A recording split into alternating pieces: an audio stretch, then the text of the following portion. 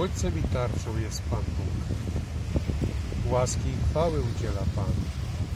Nie odmawia tego, co dobre tym, którzy żyją w niewinności. Panie zastępów, błogosławiony człowiek, który ufa Tobie. Psalm 84, wersety 12 i 13. Człowiek z natury pogrążony jest w ciemności. Porusza się w ciemności i nie wie, dokąd idzie. Nie widzi nawet, że zdąża do piekła. Nie wie nic o pewności zbawienia. Jeśli ktoś nie wie, dokąd idzie, to jak mówi Pismo, zmierza ku zgubie. Jednakże Duch Święty pracuje nad każdym człowiekiem. Jezus puka do każdego serca dwóch i trzykrotnie.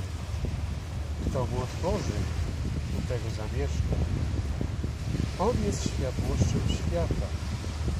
Kto Jego naśladuje, ten będzie miał światłość żywota. Ewangelia Jana, rozdział 8, werset 12. On jest naszym słońcem, które nas grzeje i oświetli. Możemy kroczyć pewnie. Nie jesteśmy już lunatykami, ale dziećmi dnia. On jest też naszą tarczą, naszą ochroną. On ogarnia nas z tyłu i z przodu. Psalm 139, werset 5. Aby nie mogło nas spotkać nic złego. Jego prawda jest nam osłoną i tarczą. Jego słowem możemy się bronić, gdy zbliżają się wrogie siły i pokusy. On daje nam łaskę i chwałę. Uzdrawiająca łaska Boga ukazała się wszystkim ludziom. Ona nas wychowuje, abyśmy odeszli od bezbożnego postępowania. Przez Niego możemy też otrzymać łaskę odpuszczenia.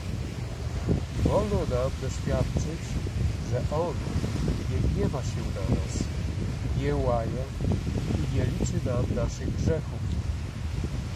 Jakaż to obietnica, że On nie odmawia tego, co dobre tym, którzy żyją w niewinności.